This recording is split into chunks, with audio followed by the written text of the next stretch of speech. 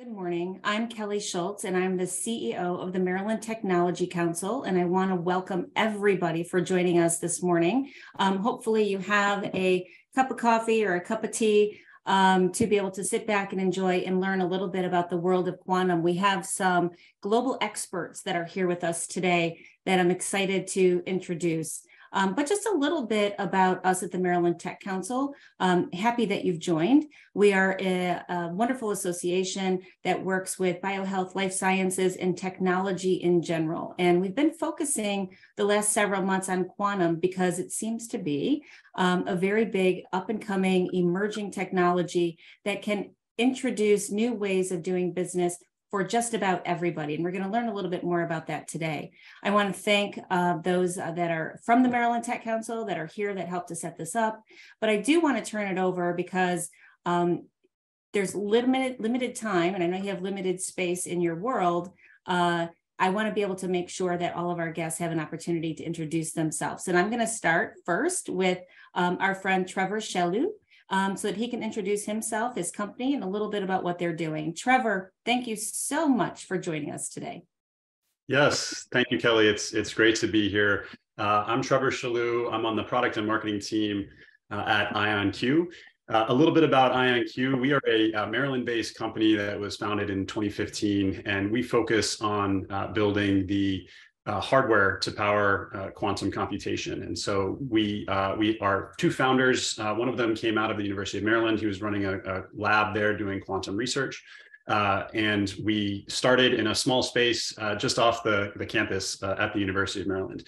Um, and since then, we've been focused on uh, the research and development behind building uh, universal gate quantum computers. So think of the, the actual hardware that will be doing the, the, the quantum computation. Uh, we have several systems that are currently commercially available, and we have an aggressive roadmap to continue to develop those systems to uh, increase the, the utility of what these, these systems can provide and hope to fulfill a, lot of the big claims and promises that people have in their minds uh, around what quantum can do.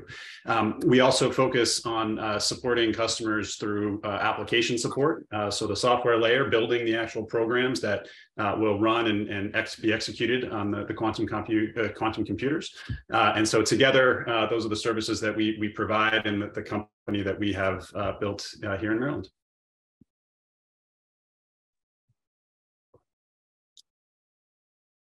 Thank you, Trevor. I appreciate that. And I can't wait to hear more. Thank you for being a Maryland based business and starting up the way that you guys started up. I remember listening to you guys a long time ago um, when we started the quantum conversation. Uh, next, we have Denis Mandich. Denis, welcome. Thank you for coming and sharing your expertise with us this morning. Thanks, Kelly. Uh, my name is Denis Mandich. I'm the CTO and co founder of Qrypt. We're a quantum secure and post quantum encryption systems company that guarantee the security of your data and infrastructure against attacks by quantum computers and other network infrastructure problems that you might encounter over the years. I'm a physicist by background. I spent 20 years in the intelligence community where we worked on highly secure systems that had to communicate all over the world, embassies and other infrastructure that we had. And we wanted to bring that same technology to commercial industry, make it a lot cheaper and more accessible to the community. So we partner with several national labs, Oak Ridge National Lab, uh, Los Alamos National Lab, several universities around the country and in Europe, in NATO countries to build these systems and make them easily accessible through the cloud. Great. Thank you, Denis, for joining us. We really appreciate it. Mark Jackson, good morning. Welcome. Good morning, Kelly. Thanks for having me. Um, so it's it's a pleasure to be here. So uh, I'm Mark Jackson, and I'm the senior quantum evangelist at Quantinuum. Um, for most of my life, I was actually an academic physicist. Um, I did something called string theory, which uh, Denis and I actually share. Um, but then about six years ago, I was hired by a small British startup called Cambridge Quantum Computing. And we grew very rapidly. Um, at Cambridge Quantum, we did so quantum software, but we then um, merged with Honeywell Quantum Solutions, uh, which, which Honeywell spun out to form a new company called Quantinuum. And so we're, we're a very large company now with 500 employees having both hardware and software. On the hardware side, we have an ion trap machine, which, uh, which has the highest confirmed quantum volume. And then on the software side, we have all the applications, including chemistry and machine learning and cybersecurity. And we've also developed an open source uh, um, software development kit called TKET, which allows you to most efficiently run your quantum software on any machine, ours or anyone else's. Wow, that's exciting. Um, I'm surrounded by physicists today. I'm feeling a little bit outnumbered. But uh, next up is uh, Prachi Vakharia. Yeah, well, I'm a mathematician, so you have some balance there. Uh, okay, uh, good. Is... Thanks, Prachi, for holding out on us. my name is Prachi Vakharia. I live just south of uh, Maryland in Washington, D.C. Uh, currently, I work with a company called Amazon. Uh, Amazon, of course, has its own quantum initiatives, but I'm here not to talk about Amazon, but actually something else I started, uh, a few of us started from MIT in back in 2017. And it's a foundation called Womanium, where Womanium was inspired by, and I was inspired by all the amazing women in DC leading uh, groups like NIST, DARPA, ARPA, National Science Foundation. And I wondered to myself, how do we make more scientific leaders and how do we make female scientific leaders? And this is where the uh, Womanium was born. And we typically work with US government agencies, many of the agencies I just mentioned, the NIH, uh, et cetera, to train people in the cutting edge of technologies that are 5, 10, 15 years away. And this is truly the hallmark of a leader, right? So last year we partnered with NIST and we partnered with actually Dr. Malu Slot, who's one of the uh, scientists focusing on quantum materials at NIST. And with her, we created the now, which is the largest quantum training program in the country. Um, our first program, we trained over 1,200 people from 88 countries in quantum technologies, quantum software, lab tours, and the entrepreneurship angle, which is dear to my heart as well. Uh, this year, we will again train people. So this will be our second workforce training program. And our goal is again to double the numbers from last year, uh, expose people to all the different kinds of quantum computing, so all the different types of quantum computers and how we develop them. And of course, understand software, understand applications, and really work with companies to build the software, um, uh, build the software applications and build the quantum applications of tomorrow. So that's a little bit of our, our goal and mission. Thank you for having me. Well, you are such a leading expert, and so we're very happy to have you on here, Prachi, from the very beginning. So uh, we're going to start some, you know, just questions about, you know, who, what, where, and when, right? About the whole quantum scenario. Um, and I had my first introduction to the world of quantum several years ago when I was at the Department of Commerce, and I was introduced from uh, by a good friend of mine, Julie Lenzer, who many of you may know from the University of Maryland, who has left the state of Maryland, but we're going to still claim her as our own, to a book that she got for her child and herself to learn about quantum. It's basically a children's book for those that want to learn about quantum. So that's where I'm coming from today, the, the amount of intelligence that I have about this world. So I'm very intrigued to just kind of pick at that to, to see where we're going with this industry, with these technologies. So I'm going to start um, the first round of questions. And Denis, um, I'm going to call on you first. So, in your opinion, for what you are working with in the, the quantum universe, why should a company consider deploying quantum now? So I'm in the quantum secure systems space, not quantum computing, which the other folks on the call do when I was at the agency, we saw the largest scale of IP uh, and other data theft from, you know, General Alexander said it best that the NSA is the single largest transfer of wealth in history from one country to another. And we really wanted to put a stop to that. And although harvest now and decrypt later is the buzzword in this space today, where big nation states and hacking groups are collecting information that they can exploit in the future, either with quantum computers or finding flaws in the software libraries that were used to in, in, ensure the uh, security of those systems. So the systems that we build today make all of that go away. The internet really evolved from using it to communicate among people to being an exploitation uh, model for big social media companies where they collect that data for free. Uh, they made it very easy to do that and to violate our privacy. What we're doing is making end-to-end encryption systems that are secure not just against the internet itself, but also all of these networks that are under adversarial control. And every company has been suffering from ransomware, cybersecurity attacks, uh, theft of their IP. And really, in the quantum age, all of these systems become transparent to quantum computers and we make the tools available to very easily implement on your network infrastructure to make all that go away. Make any two endpoints, uh, Alice and Bob, we usually call them in cryptography, anywhere in the world, whether they're in Australia, China, the US, Europe, uh, make those two endpoints secure and not worry about the infrastructure in between that quantum computers can now break into. So transitioning now is almost like self-preservation, and we're going away from this you know, surveillance economy where a handful of big companies have exploited that data back to privacy. And we're already seeing that in GDPR and other regulation around the country, including in the US.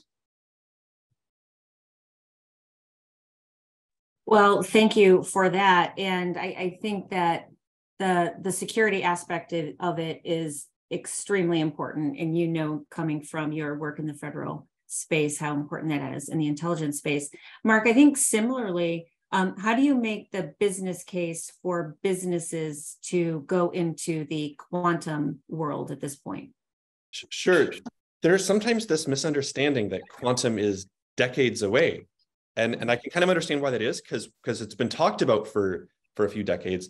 But the truth is is that the field has made so much progress in the past 10 years that we believe that we're actually only two to four years away from having commercial applications.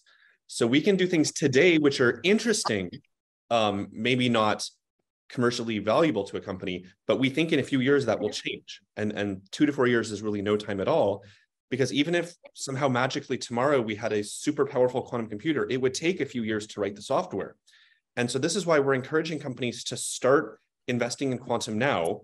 And they don't have to spend millions of dollars if they just get to know what quantum is and start like a small pilot project and start working with quantum companies, they can at least understand what's happening and how it will be relevant to, to their, um, their field um, in the near future. That's why we're here today, Mark. Absolutely. Yeah, to tell them why. Prachi, why why should a company start? I mean, you've been in this business for a long time. So tell us the why for a business case. Yeah, absolutely. A lot of industries are going to be impacted with quantum computing, and we are estimating the value of that positive impact to be over a trillion dollars, $1 trillion by 2030, 2040. Those industries are primarily the finance industry, uh, anything that touches materials, so the chemical industry, life sciences, pharmaceuticals, uh, and then uh, the travel and logistics industry itself. Uh, there have been a lot of cases. So I, my background is in transportation. At Amazon, I focus as a transportation innovation specialist as well. Uh, I've seen BMW go to a lot of um, quantum partners in this ecosystem and ask that question, you know, how should we be quantum ready? And everything from optimizing the production of our vehicles to coming up with new metals to put in their cars, all of that, they're exploring how quantum can be used um, D-Wave has an interesting case study where the port of uh, Los Angeles went to them and said, you know, how will quantum really impact us? And especially ports, and this is the largest port of the country, they have very, very complex operations. There's a lot of, uh, there are a lot of different unique use cases, but just a simple use case where we were, they were able to show a quantum advantage was they were able to show a 60% increase in deliveries per crane per day uh, because of how uh, we were able to model and use those cranes in a more effective way using quantum computing and simulating what a quantum computer can do for them. Uh, so I think companies are starting to explore how can we get a quantum advantage and starting to kick off with pilots. And in fact, even Womanium has been approached because we have access to a global pool of talent.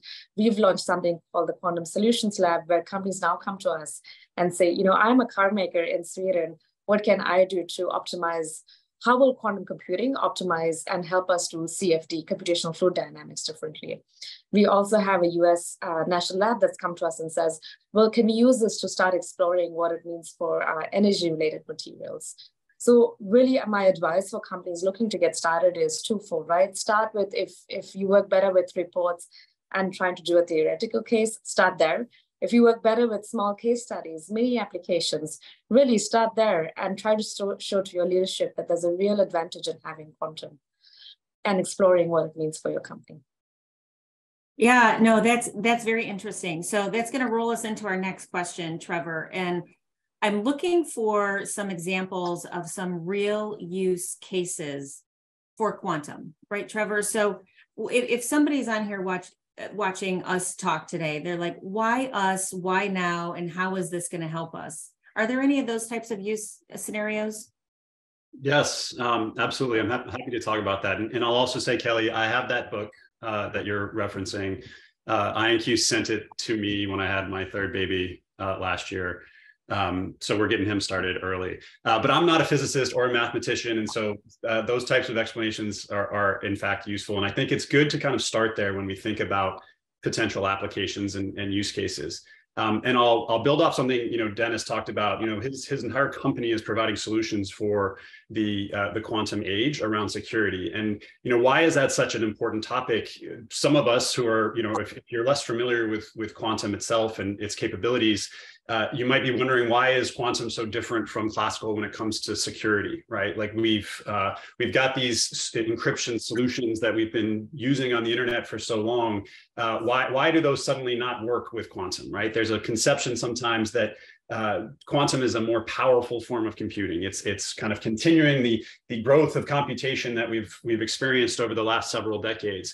Um, it's actually not that kind of continued growth. It's a fundamentally different way uh, of doing computation. Uh, and so the things that we thought were solved uh, with classical computation uh, or potentially unsolved uh, are, are not true in the quantum space necessarily, right? And the encryption, uh, to go back to that example, that's an ex that that's a place where we're seeing a solved problem when it comes to classical computation that now becomes unsolved when you start adding a, a quantum dynamic to it, right? And so that's why companies are are starting to prepare for this next phase. And that same type of going from, from, from unsolved to solved or vice versa can apply to lots of other places outside of just security uh, as well.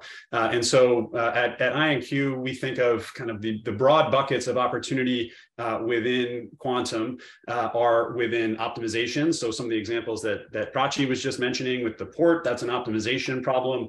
Uh, we also see simulation challenges that quantum offers big advantages in. So the, the world around us uh, at the lowest levels behaves uh, from the laws of quantum quantum physics and those properties and that behavior is very challenging to simulate with classical computation with any degree of accuracy uh, especially as those simulations start to become more complex which is where the real value is in, in, in material design and chemistry.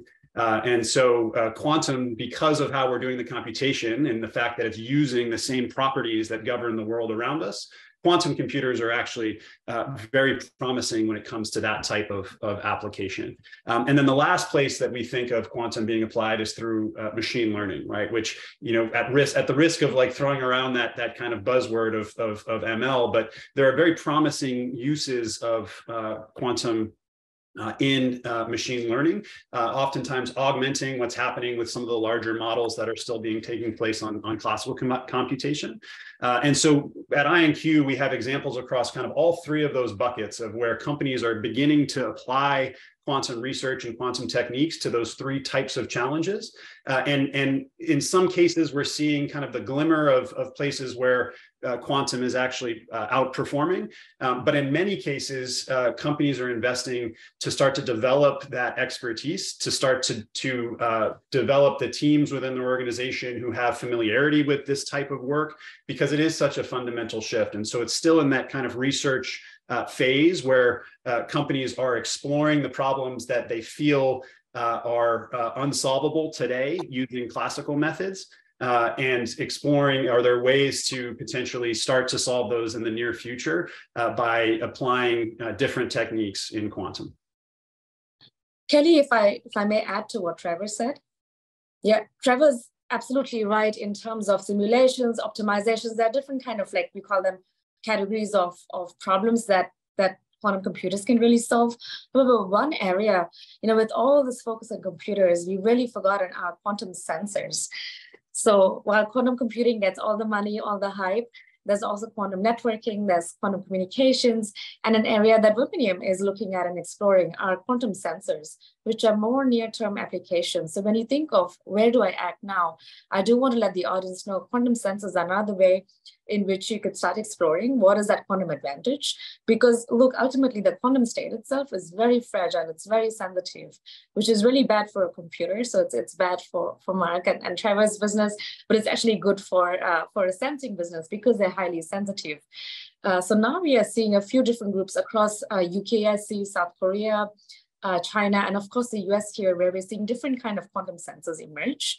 Um, one type I can I can let this audience know is a magnetometer, which uh, which is now getting used to, of course, detect like small magnetic um, uh, activity. So they're called NMRs, uh, nuclear magnetic resonance, and they used to track uh, basically a better version of fMRI machine. And this is something that the healthcare and biotech industry, which is big in, in Maryland, is looking at. In fact, NIST has a project here as well. Another one are gravimeters, and this is to again detect uh, sensitivity sensitivity in in um, um, in, in gravity detections and uh, changes in gravity. And this is where I'm seeing the oil and gas sector. Uh, we are in fact uh, involved with a, a, project and exploring a project with CCUS carbon capture utilization and storage and using these gravimeters.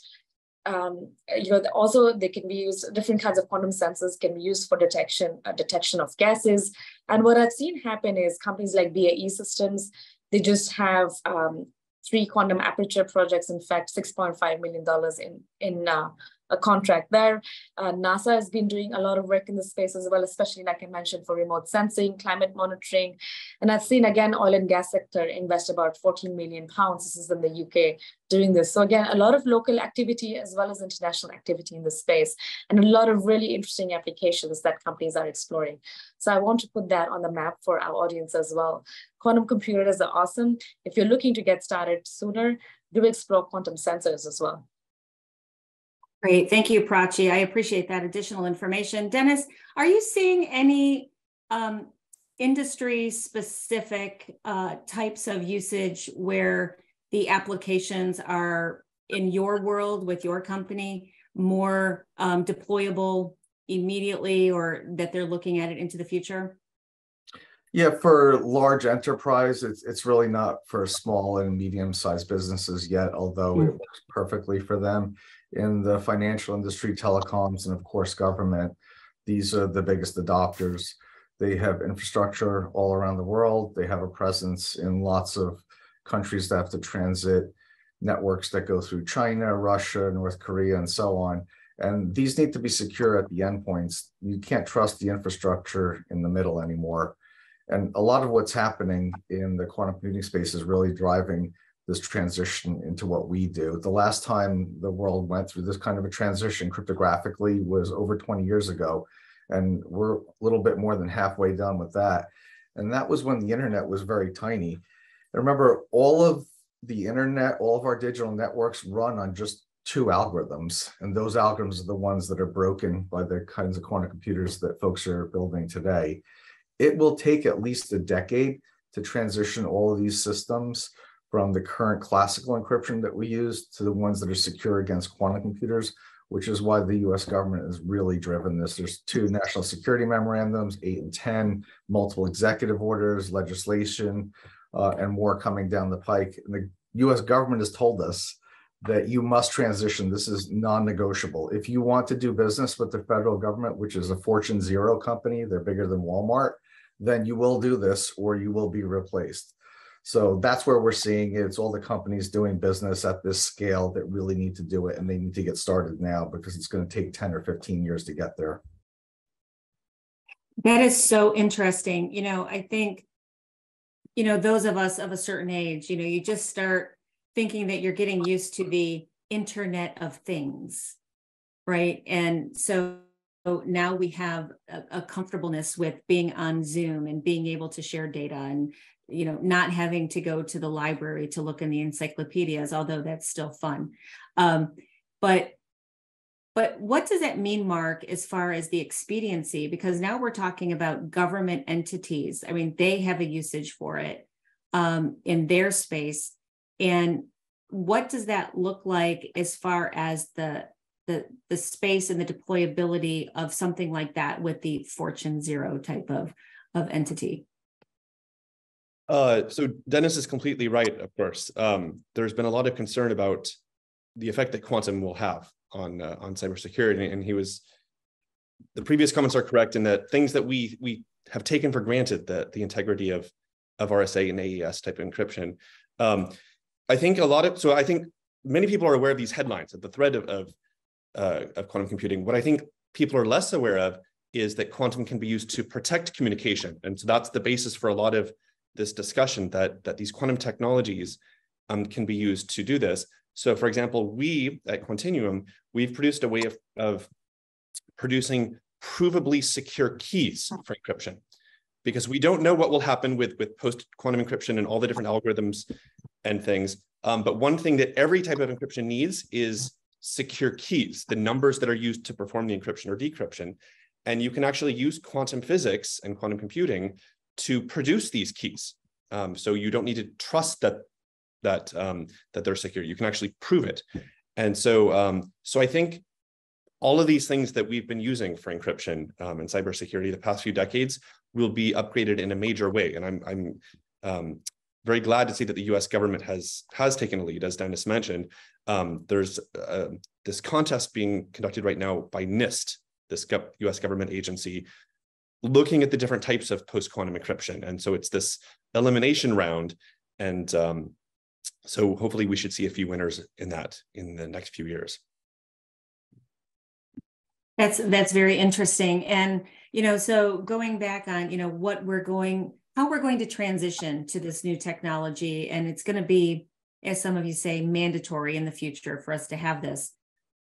I'm going to talk about how we shift ourselves internally then, because companies have an existing workforce. Um, they have existing skills that are there. Um, Trevor, I'm going to ask you because you're not a physicist and neither am I.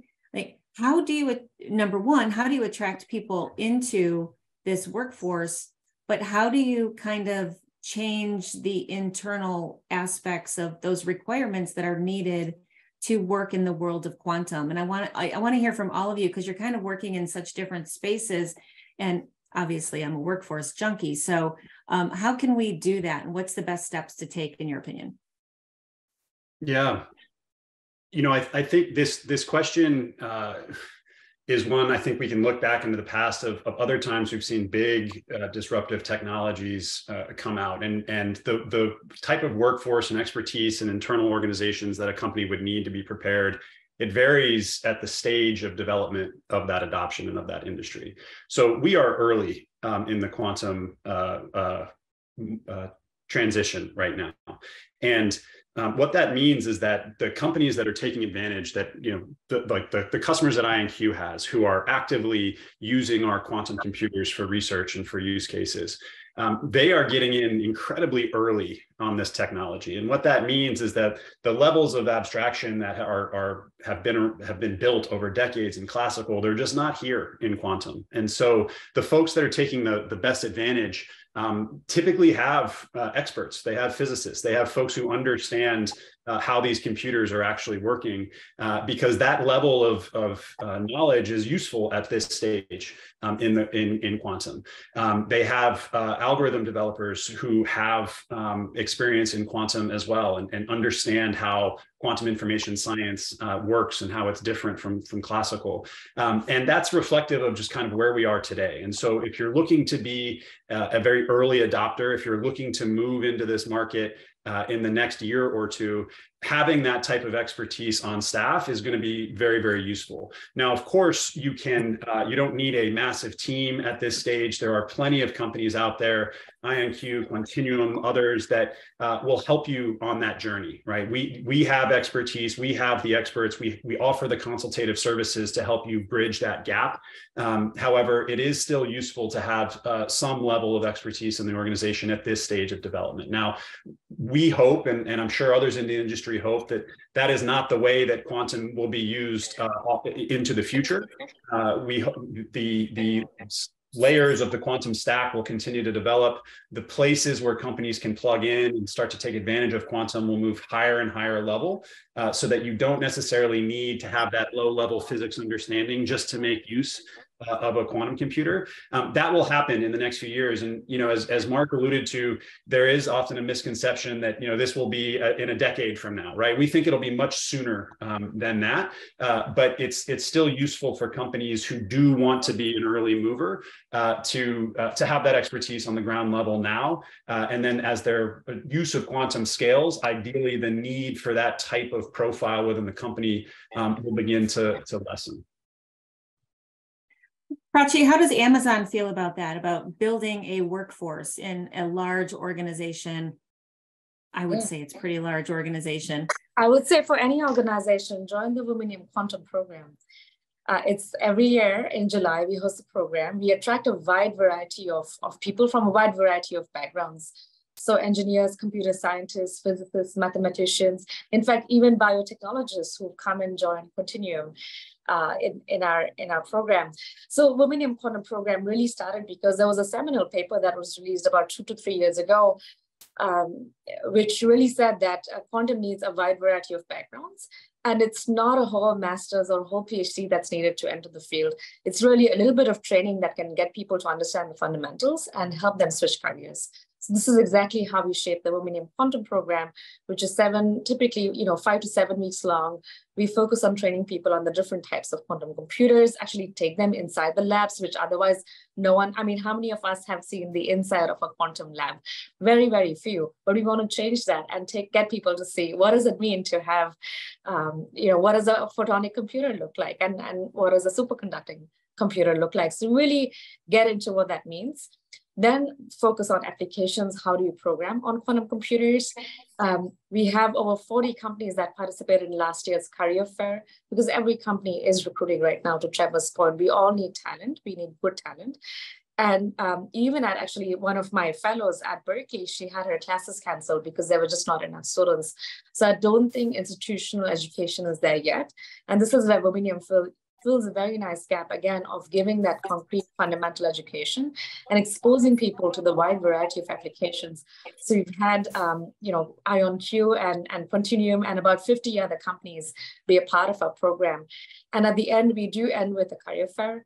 Uh, but of course, um, what I encourage people, you know, it's great to join a company and, and do good work there. I also have a, a passion for entrepreneurship um, so we do have a fund now uh, that will invest in our cohorts that come from our from the Womanium program as well and invest in their companies as well. So last year we had three startups that grew out of our program.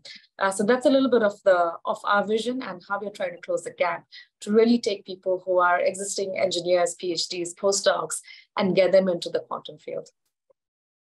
That's great. So um, there's there's time mark right? So i just first of all i just want to state there's a couple people that are asking questions.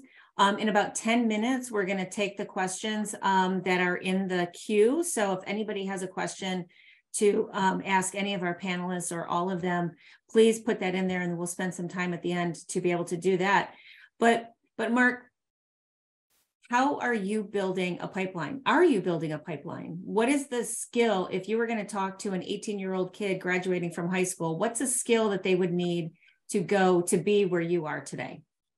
So I do talk to 18 year olds, uh, many of them. Um, part of a big part of my role as quantum evangelist at Quantinuum is talking with young people who are interested in this. And I every morning I wake up to a uh, a number of notes on LinkedIn from young people who are very enthusiastic about the quantum space and want to know how to get into it. And that's that's wonderful because there are so many job opportunities um, in quantum now. Um, it used to be purely academic, and, and, so it's great that we have this commercial sector.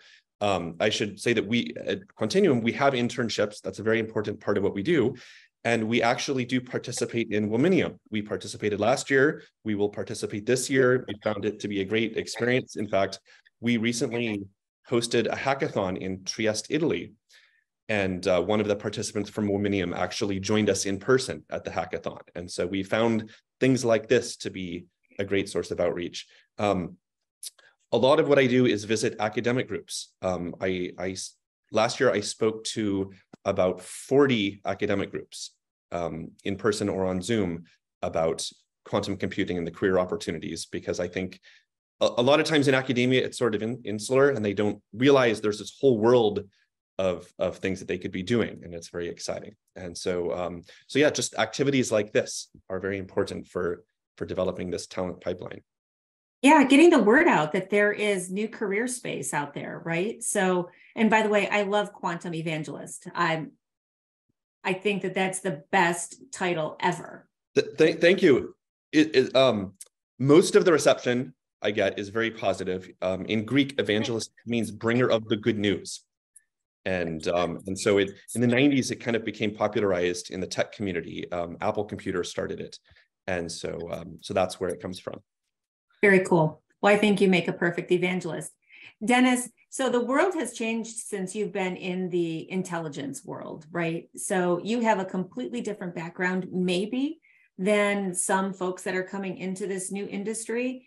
Do you see it changing even from the space that you're in and the skills that might be required in the type of area that you're working with? I think from my dark background, people realize more of what's going on in the world today, the the scale of the hacking, the the theft, and that transfer of wealth that I talked about before. So although people uh, maybe 10 years ago didn't think about their personal security and what happened to their personal Mm-hmm. data, they think about it a lot more now. And when they look at applications that they're using and what the companies are doing with that data, they're considering maybe I won't use this application because it's not made by Apple. It's made by, you know, maybe Zoom that might be data mining my information. And it's not just intelligence agencies anymore, it's big hacking groups and so on.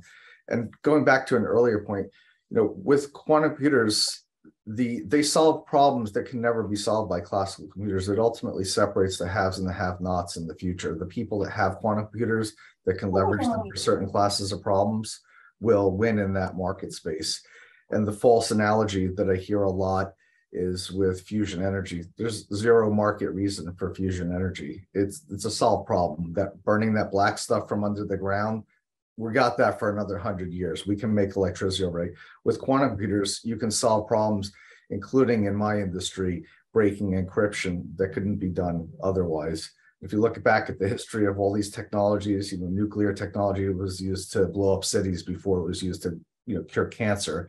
So I look at it from that perspective, from the global arms race that we're in in quantum, which is coming. We're in a competition with China on many things. Quantum is one of the biggest ones that's at highest level.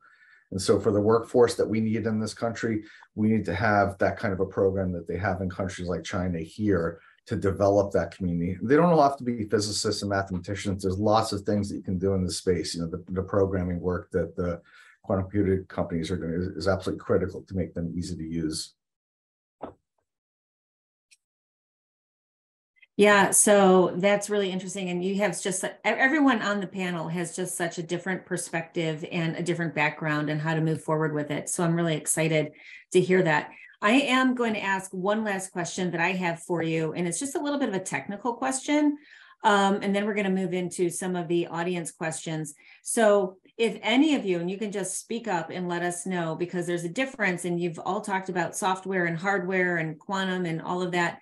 So can somebody explain, or all of you explain, the difference between quantum hardware and software? Don't all jump in at once. We make both. uh, You do both. So tell what what it how does that look? So similar to what Mark does with generating the keys for encryption systems, there's no way for a computer, which is a precise mathematical computational device to generate a random number. You need quantum entropy sources to do that. The government's been doing that for decades. It's very expensive. It's on a light table or it's radioactive. We partner with the national labs to build that. But then to actually make that stuff work, make it available through the cloud, make it secure for download, that's a whole software team that has to do that. So there's people that do embedded engineering, hardware design engineering on the quantum side, and then all the systems that make that usable for a large enterprise. I can add a few more words to that. So quantum hardware is you're building the actual computer that performs the calculations. Um, in, in the quantum context, this is based on qubits or quantum bits. And there's different technologies to build qubits. There's ion trap technology, which is what Quantinuum and IonQ and a few others use. There's superconducting technology, which Google and IBM and Rigetti and a few others use, and so forth. Um, quantum software are instructions to manipulate these qubits in a clever way such that the solution, whatever problem you're trying to solve, emerges from these qubits. Um, and so you you use tricks from quantum physics to put the qubits in superposition or entanglement, um, such that the correct answer to your problem emerges. And so that's um, that's the difference between hardware and software. Yeah, and and to, to tie it briefly back to the previous question around kind of workforce and, and development and where are the opportunities to get into uh, to quantum, uh, one of the things that we often work with our customers on is that to, to program a quantum computer, to write the software that will be executed on a quantum computer, um, it's different uh, it's software just like we have software today uh, that we use to run this meeting and, and do everything else we do on our computers. Um, it's it's software. There's a commonality in that sense, but it's different because you're encoding information into a quantum system, not into a binary bit. Uh, and so uh, there's the, the, hardware. If you go to our website, Quantinuum's website, you know you see the picture of the you know the big boxes. Um, you know inside of that there are little ions trapped in space, uh, and the ions are where the, the math is being done for the, the, the quantum computation. Um, and uh, then there's the software layer, uh, and that's an, that's a very interesting space. Both of them are going to evolve uh, uh, continuously. The, the, computers are going to become more powerful and more advanced, uh, and there are going to be more and more layers of software um, that are interchangeable uh, that that can run on, on those computers. And, and one of the things that IonQ uh, is is actively trying to do is we we want our we want our systems to be um, as interoperable and accessible to as many of those software layers as possible. So there's um, SDKs out there, the software development kits like uh, the one that that uh, Quantinuum has in TKET. There's there's many others in Qiskit and Cirq. All of those layers um, of software we want to be able to, to work on our systems uh, because there will be this uh, this this emergent space where there's more and more software uh, being created. And it's it's important that that software is, is interoperable on on the hardware as well for this industry and this system to continue to develop. Okay, so I'm just going to roll into these questions that are coming in real fast because it's on everybody's mind. Because we've been talking for it seems like the last year, two years about this insurgence of AI and how that's really going to start impacting our world. So we're going to have to unpack this a little bit because everybody is now just trying to figure out chat GPT, right? So how does the AI experience interact with quantum? Uh, Prachi, I'm going to ask you first. Um, there's a lot of questions on how those two technologies, I would say, are interacting and if there is an interaction. Yeah, Trevor mentioned this before. So you can use quantum computers to to run your AI ML models. That's absolutely possible. I think my question would be, do you want to do that? So at the end of the day, quantum mm. computers are not going to replace classical computers. There's still a strong value for classical computing. There's still a strong value for high performance computing, and uh, and quantum computing would be another kind of computing, which is needed for um, yeah for certain circumstances when you have lots of data or data that takes a lot of time to compute, and and just different kinds of data. I think the encryption part is a, is a good case as well. So I think quantum computing has applications it can do really well. And I guess the question would be, uh, do you want to run your AI ML models on quantum? And A, does that make sense? What is the value you're going to get out of it? I think that's how I would I would ask any um, uh, person today. What is the value, and what is it that you can't do with with classical that quantum really adds value for? And and I would add to that, you know, the the I think that's a fair evaluation for kind of the current state today, right? The things we're seeing classical uh, AI models do today are mind blowing, right? Like the Chat GPT, as you mentioned, it's incredible the capability. A lot of folks didn't realize that that's where the the state of the industry uh, was.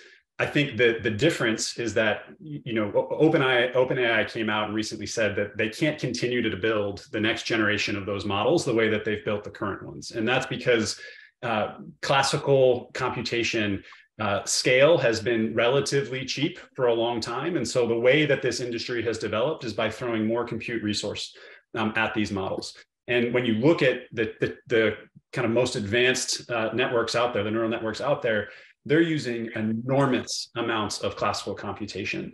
Um, there are energy loads associated with that that start to become unsustainable. Uh, you know, literally just just powering the computers that are big enough to run these models starts to become prohibitive, uh, and uh, that doesn't even take into account uh, the the scale of the systems physically that are that are required as well.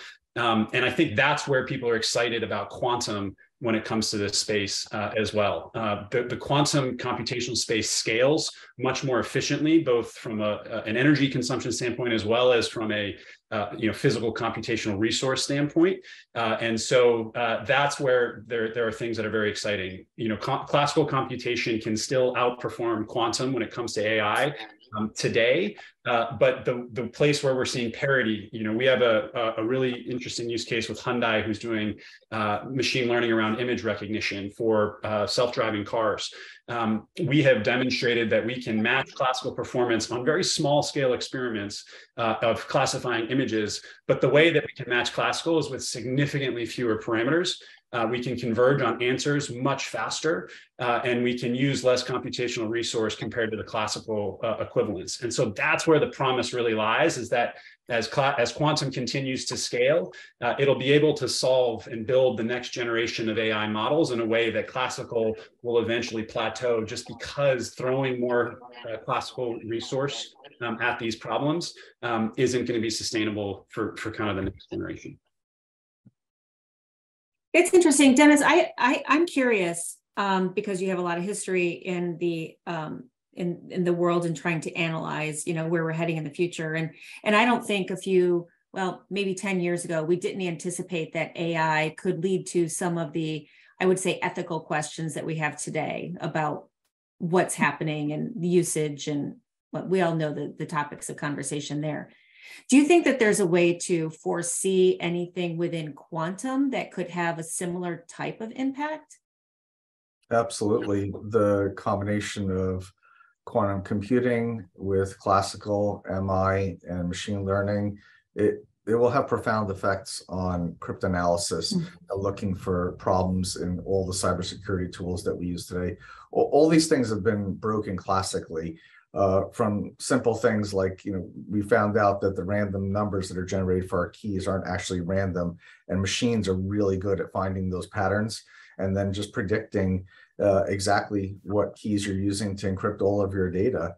And more of that will happen with all the tools, the, the SolarWinds uh, attack, the flaws in those systems, the flaws in the data that are fed into these AI models. It's called AI poisoning. All these things will be exploited uh, within the community. We can't count on these things only being used for good. I feel like I'm the dark cloud over some of this conversation. We're having all these positive things of Mark and and Trevor and uh, Roger you're promoting, but I see it from the other perspective that this will always be used uh, by bad actors, the big nation states that don't play by the same rules that we play by. And I, I, really feel that we we need to move very quickly on this, or we'll end up the second uh, economic power in the world, not the first anymore. Yeah, that, that's really interesting. And so we we talk about you know a geopolitical type of conversation and bring that in here. You know, there is always a race to the top, right? So um, I, I really appreciate your perspective on all of that, and I think that considering some of the questions that we're having um, from from our audience, it's it's very relevant and on people's minds, and uh, being able to work all of that together. And um, I think we've, you know, technology has been around since man, right? Since we created the wheel, and I think that by learning from the past experiences and how to handle the different types of technologies that come forth is uh, it's an important lesson. So thank you for being that part of the conversation. We we appreciate that. Um, I want to ask. Um, there's there's a couple of very specific. Um, if we move, Mark, did you have anything on the AI issue? I just wanted to make sure. I don't think I have anything to add that hasn't been said already. Um, people ask me about this, and uh, it's not just possible that AI and quantum will collide; it's inevitable. Uh, quantum will absolutely be a part of AI because AI is based on machine learning, which is looking for patterns, and classical machine learning um, misses a lot of patterns, whereas quantum is much more sophisticated mathematically and would pick up on it. And so, um, so we will absolutely see a convergence of quantum and AI in the not too distant future. Thank you very much for that, Mark. And I'm going to go through for some rapid fire questions here. Whoever wants to answer, you know, first at the at the mic gets the answer. Uh, Quentin um, has asked, what kind of quantum computer is the most promising in your eyes? If you ask the two of us, Trevor and myself, I, I, think we would say ion trap technology. I get that. Yes. yes. Um, and there, and there's there's a good reason for that. The, the truth, um, more more neutrally, the truth is that there are several promising technologies, each of which has advantages and disadvantages. There's a reason that many different technologies are being explored, and the truth is that the, there will probably be several winners, um, depending on the type of problem that you're doing. And so, um, so ion trap is is up is very promising. Superconducting is very promising. Photonic is promising. There's there's a few others which are being less uh, commercially explored yet. Um, but the truth is that um, that there's there's no obvious winner, but fortunately we have several. Yes, and to add to Mark's point, I completely agree. There are different approaches, and if you want to understand the difference in the approaches, why different teams are exploring different ones and how they really work.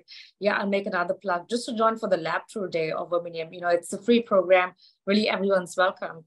Uh, but just come for those lab tours because I think that will give you a very good idea of how we're approaching quantum computing.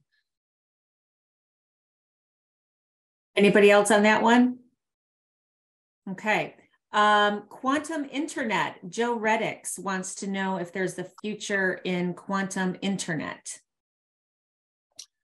I'll jump in and I mean, quantum internet's going to connect a lot of these quantum computers. I don't, I won't comment on that, but uh, for quantum security, uh, these quantum tools will be used to build a quantum secure internet, which is, you know, very different from a quantum internet, which just moves around qubits the way that a classical internet moves around bits. So with that, I guess a, a similar question, because you mentioned that, um, Anthony Lawrence asks, if we can connect the quantum computers so that they can work together to solve problems? Are they interconnectable? They they will be. Yeah, that absolutely will be one of the the features. That's awesome. So Prachi, I just want to talk um, going back a little bit. Somebody had, you know, given you kudos as to um, your work with um, your programs, uh, your workforce programs. Um, on the womanium, womanium, womanium. I'm going to have a hard time saying that, Prachi. So you're going to have to, um, anybody that wants to sign up, anybody that wants to send anyone to these programs, you had mentioned a couple of times that they can do that. So that's very exciting to get people involved. Um, I see, you know, lots of um, diversity here. Prachi, yeah, can you talk a little bit about the diversity with that and what that looks like? Oh, with the workforce training. Yeah, and, and quickly on Womanium. So if you want to join for this summer's, which is our second year's program, womanium.org forward slash quantum. And Womanium really comes, uh, this is again a history lesson uh, after, after what Mark said. But no, if you think of plutonium, titanium, we've, we've named the elements, you know, ending with an EM. So woman EM, the element of woman, which is what we, we are going for. oh, got it. Yeah, yeah. I see. Um, now I'm in the know. Now I'm in the know. I feel good about that. Thank you. Wonderful. Um, I, there's there's so many programs out there that are looking to be able to attract people in in diverse demographics and areas to to get them involved and and specifically um, females in STEM occupations in general. And you know we continue to work on that as you know overall in in all of our worlds. Um, but um, one question from Justin that just came in. How do you feel quantum will impact the cryptocurrency blockchain industries, which is also another hot topic, both politically and within the society? So, what do you think about that? I, I can comment on that because that's a question I get a lot. You know, the uh, original blockchain that was built with Bitcoin uh, that's the most vulnerable because a lot of the original wallets use this older type of cryptography that can easily and quickly be broken by large enough quantum computers. The quantum secure cryptocurrencies and blockchains uh, are all second after Bitcoin. So if the first quantum computers are used to steal all that Bitcoin from those really big, you know, hundred billion dollar wallets, these are not, it's not hyperbole. There's hundreds of billions of dollars worth in those wallets then the, in my opinion, the price of all of them goes to absolute zero. They, they will be worthless mm. because there's no trust in the system anymore. There's no insurance to get that cryptocurrency back. That transaction is immutable. I'd like to add one thing. Um, besides the cybersecurity part of it, I'm often asked, could you use a quantum computer to mine Bitcoin? And the answer is no. There was a study done on exactly this, hmm. this topic, and the answer is no um, GPUs are actually more efficient than quantum. And so that's that's the fortunate answer is that they can't do that. Interesting. So there's been lots of studies done and there's been lots of technology that's been developed. Um, I'll just go into this before we kind of um, let you guys say some fine words if you have anything that's left unsaid. IP. So what does the world of intellectual property look like right now in each, I'm going to ask each of you, um, your worlds um, in the quantum space. Um, what does that look like for the future? I, think it's critical. We, we spend a lot of time on our IP, uh, making sure that we cover only what we actually do and not try to become patent trolls. There are a number of people out there right now, which I think is a problem with patent law. Uh, they're just, they, they don't actually build or do anything. They just try to cover spaces in quantum so that we would have to pay licensing and so on to them. My rant against that industry. You know, Love the honesty. I'll give a slightly different answer, uh, you know, because obviously as a quantum manufacturer, uh, there, there are uh, huge priorities on developing IP around the technology that we think is most beneficial. Um, but one of the places we encourage our customers to think about why move now, uh, why start to think about quantum now is that uh, we, have seen this with other disruptive technologies. The companies that develop the IP uh, in this case around how to run the applications to extract value from quantum computers. The companies who develop that IP uh, ahead of the technology uh, are the ones who can capture all the value um, when that technology becomes uh, at a larger scale. Uh, and we've seen this time and time before. And so one of the places that we encourage customers to think about is when they're doing research, even if the quantum computer uh, is not able to outperform classical today, um, if they're developing IP in the quantum space around how to leverage that quantum computer to solve their challenges, um, that becomes incredibly valuable uh, as the uh, industry continues to mature. And so locking up that IP and developing it uh, as a use case for using quantum today is, is a big opportunity. For our hardware and for the quantum applications, we're of course very protective of, of the secret sauce in each of these things. And so um, there's certainly that. But for the TKET software development kit that we developed to efficiently run quantum software on any machine, we have the opposite viewpoint. We actually made it open source about two years ago.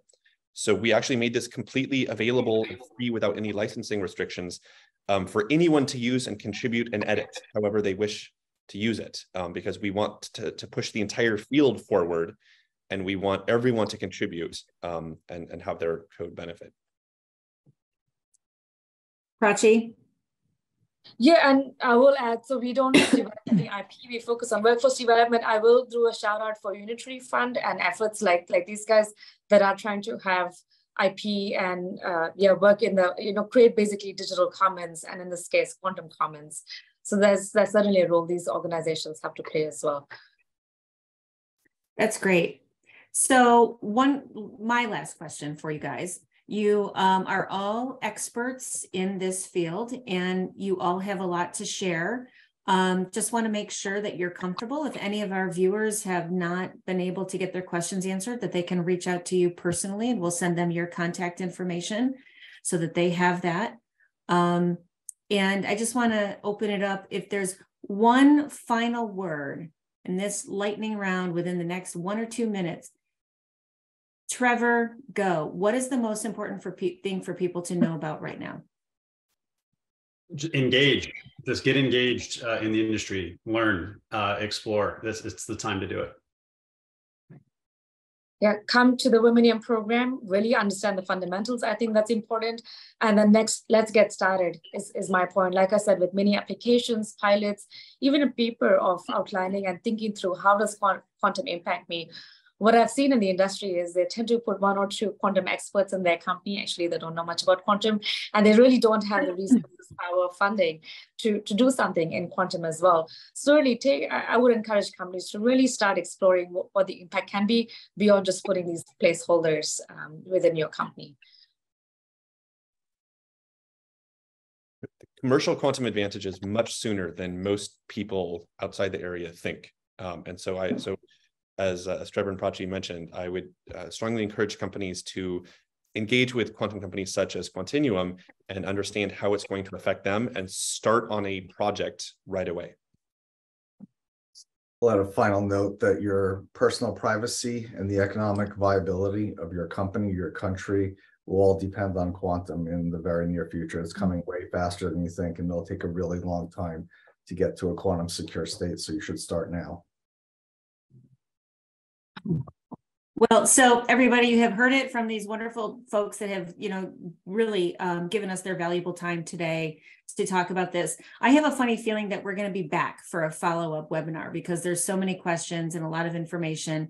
And if our guests um, agree with that, then we can invite them back and we can, you know, talk about some very specific topics that have come up on questions. We will share um, all of the um, contact information with the experts here today and feel free to follow up with them, follow up with us at um, at the Maryland Tech Council. And I've been really happy to be here with everybody this morning.